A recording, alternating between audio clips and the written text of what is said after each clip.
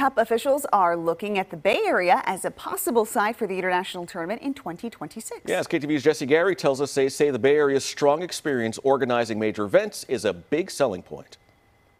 Late Friday, the love fest between the Bay Area World Cup host committee and members of FIFA was off to a glowing start. I think the presentation demonstrated the strong experience of organising events, um, and that was that was very plain uh, to see.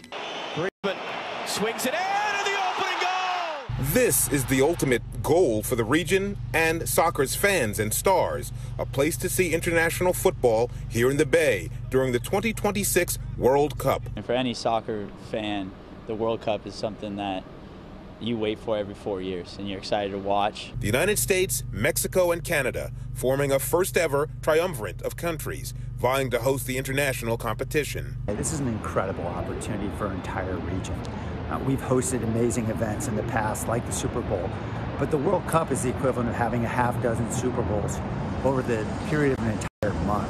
FIFA, international soccer's governing body, will select a total of 16 cities to host matches, but 22 cities are pitching for the honor. Every city has uh, accommodation, airports, uh, transport networks, stadiums. We'll also take into consideration, you know, climate, um, geography in terms of the travel for teams, um, the uh, time zone.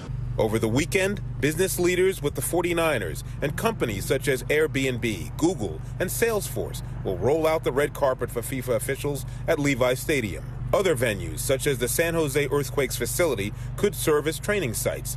A good impression could lead to a good economic boost for the entire region, according to sports management professor Jason Chung. But in places where you know there has been a good use plan, where it has already leveraged uh, existing infrastructure, um, those have fared much much better. The list of 22 won't be pared down to 16 until early next year. So the peach pitch is on to show why the soccer world would be better off in the Bay's hands. To play it in front of your home fans in, the U.S. would be would be incredible. Other U.S. cities in contention to host World Cup soccer matches include Los Angeles, Miami, Washington, D.C. FIFA officials will come to Levi's Stadium Saturday to inspect not just the field, but also locker rooms and broadcast facilities to see how those spaces are used and can be used for a World Cup match. Outside Levi's Stadium, Jesse Gary, KTVU, Fox 2 News.